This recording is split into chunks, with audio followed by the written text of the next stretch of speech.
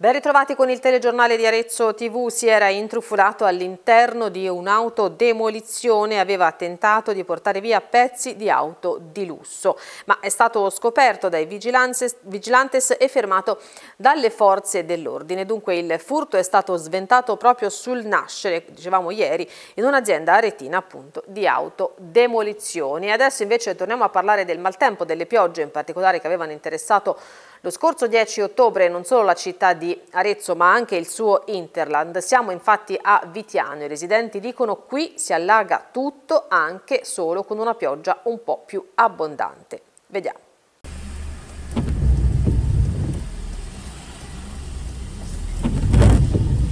Siamo a Vitiano, frazione del comune di Arezzo. Questa strada di competenza comunale ogni volta che piove, anche in maniera non troppo importante, si allaga. È molto rischioso perché come io e altre persone che abbiamo la macchina bassa eh, si rischia di rimanere bloccati lì. Qui si allaga anche quando diciamo, i millimetri di acqua non sono poi tantissimi. Sì, sì, anche quando sono pochi si allaga comunque. Il problema che interessa circa 30 famiglie, ma anche tutti coloro che utilizzano questa strada verso la Val di Chiana, sarebbero i fossi. Non sono manutenuti, dicono i residenti, da parecchio tempo. Sì, la manutenzione non è scarsa, è proprio assente e questo è il principale motivo che soprattutto nelle frazioni eh, si accusa, soprattutto dopo la fine delle circoscrizioni. Vorrei anche sottolineare che questa è una strada non solo utilizzata dai residenti ma anche da quanti coloro si dirigono verso la parte bassa di Castiglion Fiorentino e della fratta di Cortona. Sarà Andrea Gallorini, consigliere comunale del Partito Democratico, a portare la questione in consiglio nella prossima adunanza. Sì, questo problema è stato segnalato negli anni, l'amministrazione comunale ne ha conoscenza, però ad oggi non è stato fatto nulla, ricordo che la strada è di competenza comunale e che l'ultimo intervento di pulitura dei fossi è stato eseguito dalla circoscrizione 5 di Rigutino ormai quasi vent'anni fa. In questo lasso di tempo non è stato fatto nulla, i fossi si sono eh, colmati di detriti nel corso degli anni e questo comporta appunto l'allagamento dell'incrocio e di questa porzione della via nuova. Passo in avanti storico per gli infermieri, lauree specialistiche e prescrizione, l'annuncio del ministro Schillaci di fronte ai 102 presidenti degli ordini professionali, tra cui il presidente di Opi Arezzo Giovanni Grasso. Un annuncio a detto di atti concreti, quali l'istituzione di tre nuovi corsi di laurea specialistica in cure primarie e sanità pubblica, cure pediatriche e neonatali e in cure intensive dell'emergenza. Saranno così offerti ai nostri professionisti, dice Grasso, già in possesso di lauree triennali abilitanti, ulteriori opportunità formative e sbocchi di carriera in settori che rappresentano le principali necessità dei cittadini. Ancora Sanità perché a Bibbiena sono partiti i lavori per l'ospedale del futuro e la nuova casa di comunità, tre linee di finanziamento, un costo complessivo di oltre 11 milioni di euro grazie a fondi PNRR e fondi anche del, dal Piano Nazionale per gli investimenti complementari. I lavori dovrebbero terminare entro dicembre 2020. 25, ma sentiamo il consigliere regionale del Partito Democratico Vincenzo Ceccarelli. Sono partiti i lavori per circa 15 milioni di euro che consentiranno un miglioramento sismico dell'ala del vecchio ospedale qui di Bibbiena consentiranno la realizzazione della nuova casa hub che sarà al servizio delle altre esistenti in Casentino e il miglioramento dell'impianto antincendio. Questa è la dimostrazione di come la regione toscana, contrariamente a quello che dice qualcuno, tiene a piccoli ospedali, li vuole riqualificare e li vuole potenziare. Accanto a questi lavori che utilizzando i soldi del PNRR consentono di eh, adeguare e migliorare l'infrastruttura eh, è arrivata anche la delibera per l'acquisto della nuova TAC. Eh, sono arrivate recentemente due psicologi, un amministrativo di supporto al pronto badante, alcuni infermieri e c'è l'impegno dell'azienda per la ricerca anche dei medici sia per eh, medicina che per il pronto soccorso che in questo momento sono carenti. Tutto questo però fa parte di un impegno importante per il quale voglio ringraziare l'azienda con i suoi tecnici che hanno progettato, che sono qui al lavoro con tutti quelli che si sono adoperati e si adopereranno perché questo intervento che cambierà il volto della sanità ospedaliera e territoriale in Casentino perché ci sarà il massimo dell'integrazione fra i medici di medicina generale e anche i servizi ospedalieri possano essere realizzati nei tempi previsti e a regola d'arte. Una raccolta alimentare che si è svolta nelle scorse ore all'interno dei supermercati Coop di Arezzo ha consentito di donare oltre 4 kg di cibo alla Caritas diocesana.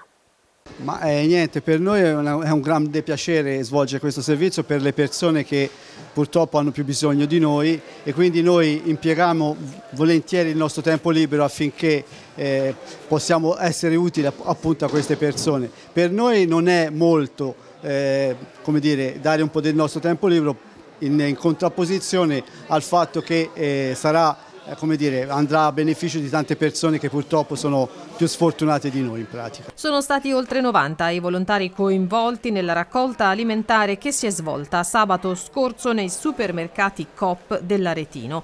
Oltre 4.600 i chilogrammi di alimenti donati alla Caritas diocesana per aiutare le famiglie in difficoltà del nostro territorio. cerchiamo di fare un po' di volontariato perché ci sono tante famiglie bisognose anche di aretini che magari eh, insospettabilmente non riescono ad arrivare alla fine del mese, quindi cerchiamo di fare quello che serve. Sempre più grande purtroppo la percentuale delle famiglie che rientrano nei cosiddetti nuovi poveri. Ci sono tante famiglie, tante situazioni all'estremo, quindi il, il bisogno aumenta ogni giorno, quindi noi siamo molto felici e consapevoli di quello che richiede la società. Anche una piccola cosa, l'importante è partecipare. Un nuovo anno al suo inizio e anche una nuova sede, parte la nuova scuola di politica. Dottor Tenti, oggi doppia festa, una bellissima sede e il progetto di formazione civica al quarto anno. È un gruppo di amici presuntuosi, il più presuntuoso sono io, ha pensato di trasmettere quel poco che sa a coloro che avessero voglia di fare politica, ma intesa però politica come servizio, non propriamente come oggi la maggior parte delle persone la intende. La politica è una cosa bella, qualche volta sono meno belli i politici, quindi senza assolutissimamente alcun orientamento di parte, avremmo la pretesa di raccontare qualche cosa del nostro modesto sapere nell'ambito della politica naturalmente, a chi domani avesse voglia di fare, che ne so, il consigliere comunale, comunque di impegnarsi in politica. Questo è lo scopo fondamentale, principale, anzi no, unico di questa iniziativa, si chiama infatti Scuola di Introduzione alla Politica che si tiene nella ex chiesa di, in via Oberdan della Madonna del Duomo, un luogo splendido, cortesissimamente donato, utilizzato, eh, che ci è consentito di utilizzare gratis dalla famiglia di Antonio, dai figli di Antonio Boncompagni, Giuseppe e Susanna. Sancisce questa unità di intenti tra la scuola e il territorio, queste personalità che mettono a disposizione le loro competenze per far crescere le nostre ragazze e i nostri ragazzi, rappresenta veramente l'idea bellissima perché si possa veramente creare un momento di incontro dove il territorio entra dentro la scuola, la scuola entra nel territorio e soprattutto anche perché non si delega soltanto alle nostre aule il momento di crescita ma tutti ci mettiamo a disposizione affinché ci possa essere veramente in maniera trasversale un riavvicinamento verso la politica, la politica bella. Diciamo l'attività è andata crescendo, le scuole hanno subito il primo anno aderito e abbiamo ricavato delle soddisfazioni anche per la partecipazione dei ragazzi e soprattutto per le richieste degli insegnanti del materiale su cui poi lavorare perché spesso le lezioni cercano di affrontare delle tematiche che nei libri non, anche di educazione civica non vorrebbero praticamente affrontati e quest'anno siamo arrivati addirittura all'unplane, cioè tutte e 24 le scuole superiori bene, del comune e della provincia hanno aderito, per cui chiaramente anche le borse di studio sono un po' diciamo, un riconoscimento che l'associazione fa per eh, diciamo, premiare anche le scuole. Io, eh, sono contentissima e condivido tutte le parole che ha detto il dottor Tenti sul fatto che comunque ci vuole un invito, un incitamento a farli partecipare e conoscere perché questo assenteismo eh, non va bene, assolutamente. E adesso siamo invece alla pagina dedicata ai tanti eventi che hanno affollato questo fine settimana. Partiamo da Foto Antiquaria. Ho comprato una macchina piccolina fatta a Firenze negli anni 30, quindi giusto per eh, collezione o provare a farci qualcosa. 1930, ma fatta a Firenze. 40 espositori provenienti da tutta Italia, tantissimi gli appassionati e collezionisti arrivati in Piazza Grande sotto le logge Vasari. Nel cuore della città infatti è tornata la mostra mercato Foto Antiquaria.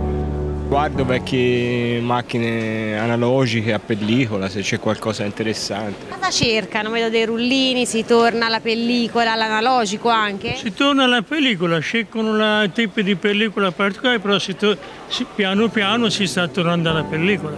Sì, se uno interessa la pellicola qui trova un po' di tutto. Eh, richiama molte, molte persone, insomma, quindi effettivamente eh, è un punto di riferimento importante per la fotografia. Cosa cercano gli appassionati? Allora, noi siamo specializzati in particolar modo sul Pentax, che è un marchio particolare un po' mm, proprio diciamo per gli appassionati. Eh, Foto Antiquario ormai da 38 anni è un appuntamento costante, anzi un doppio appuntamento perché c'è un'edizione primaverile e una diciamo, autunnale, c'è interesse sia da parte degli espositori che dei visitatori. Gli espositori sono affezionati a questo posto, è particolarmente suggestivo, è protetto, per cui insomma, questo è il massimo però che possiamo fare per il numero che mantiene la sua dimensione, ecco, senza senza poter svilupparci ulteriormente se non avremmo qualche opportunità in più. Ecco.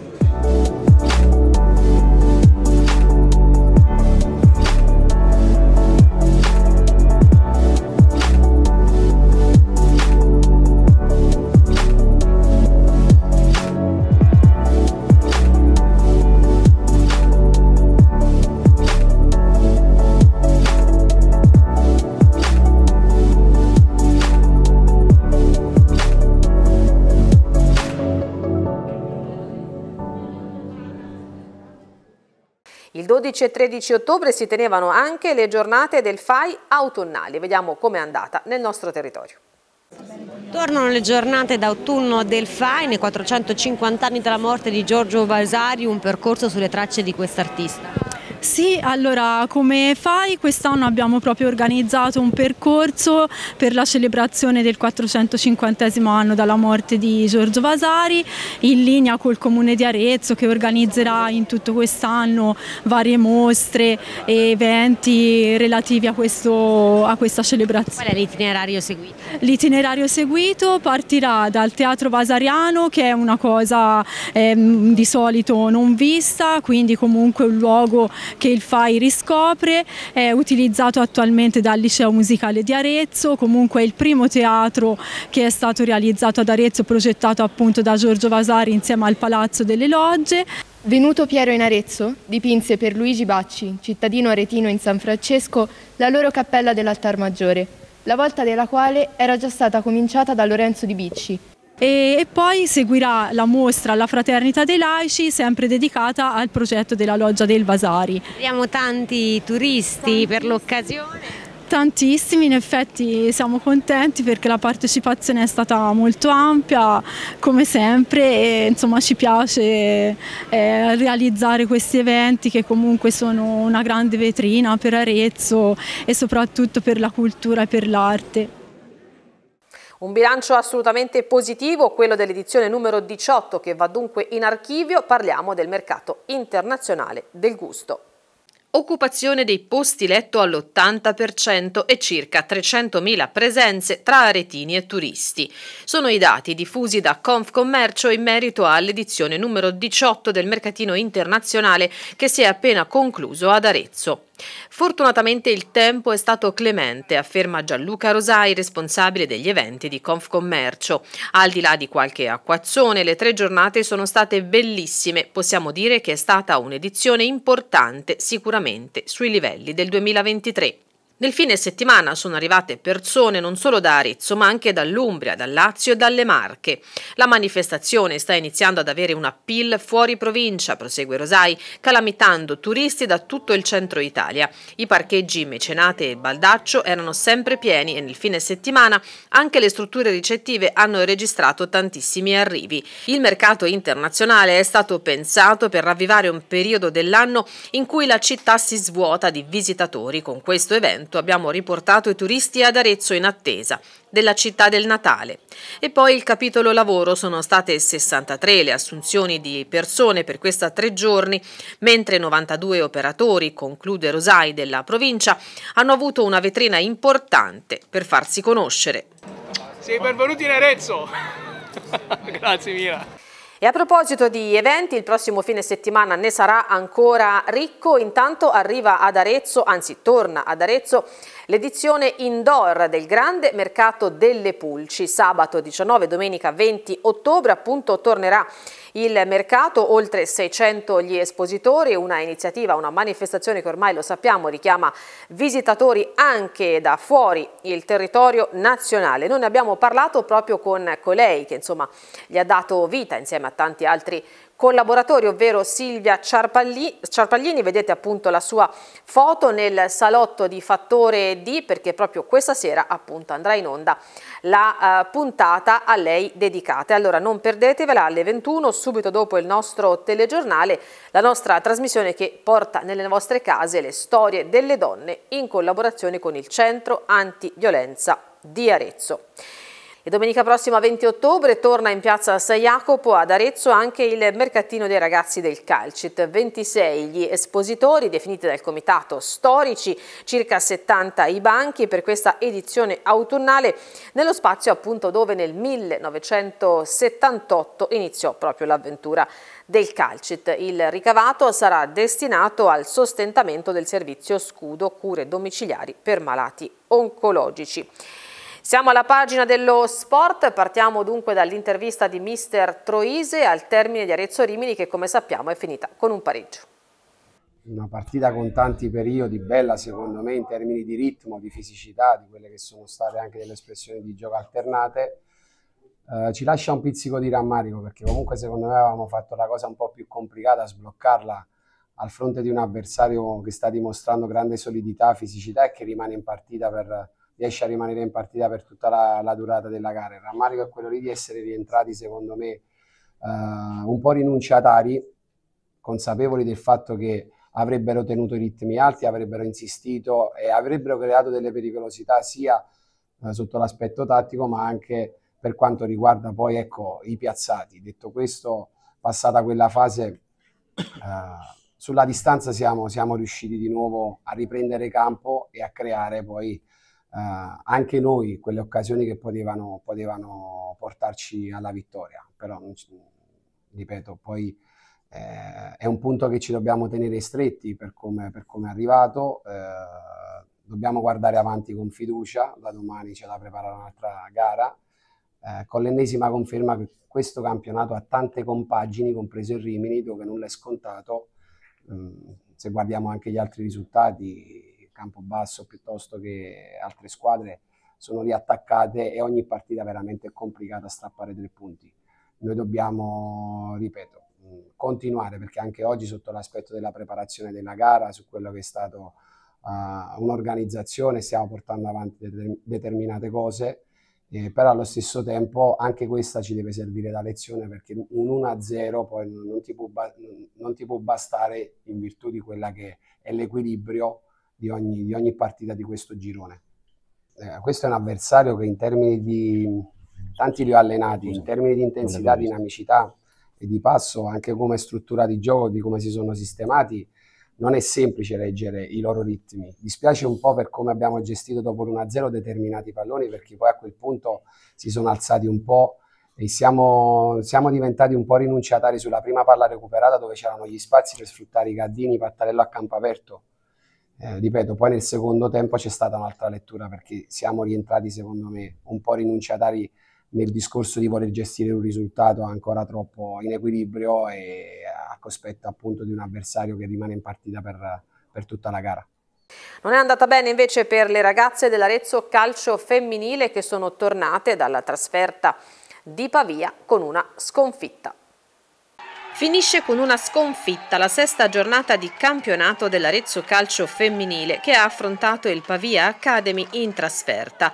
Le Amaranto, reduci da una serie di risultati positivi, erano partite con il piede giusto, portandosi in vantaggio al 37 con Zito che con un pallonetto aveva superato il portiere Deiana.